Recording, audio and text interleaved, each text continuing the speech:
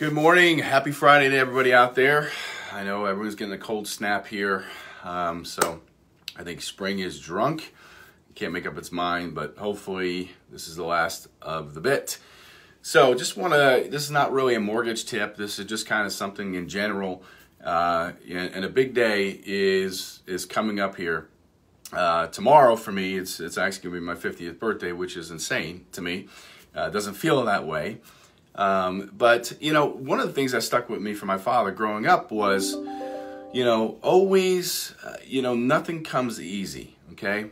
There's no substitute for hard work. He used to drill that into my head every day, whether it was sports, school, business, anything else.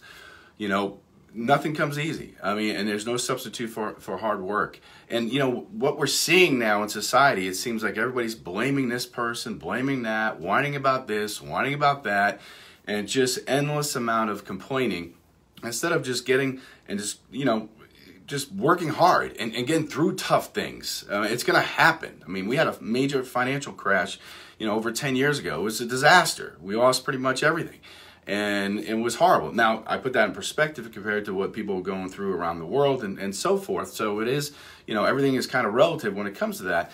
But the main thing I heard, you know, all the time is that there's no substitute for hard work. I mean, I remember playing youth hockey and starting out with that. I was smaller than most people, and I always played a couple of age, you know, age group higher than me and, and so forth.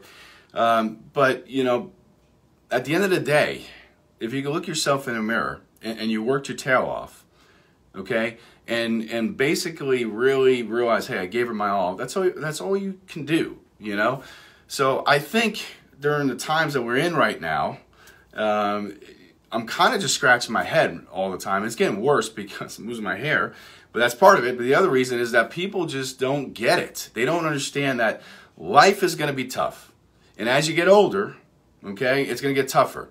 So we all think it's tough now but wait till you get you know, older and, and become 18 years old and then 30 years old and you're in a workforce, you got people backstabbing you and you got business going this way and, and up and down and all this other stuff. Life changes, people uh, hurt you, all this other stuff, okay? But you just have to keep moving forward, okay? And if you don't go through that stuff and we coddle everybody, then people are going to be so-called adults but acting like children. And that's kind of what we have now from what I've seen. So, uh, from, you know, not everybody, obviously. There's a lot of great people working their tails off and doing everything. I mean, it's awesome. Uh, but it seems like it's more and more now. And I, I know the media likes to, you know, portray the horrible stuff, but but that's the one thing I've learned from my dad. There's no substitute for hard work. No matter how talented somebody is, he could be outworked. Okay? And, and you can win by doing that.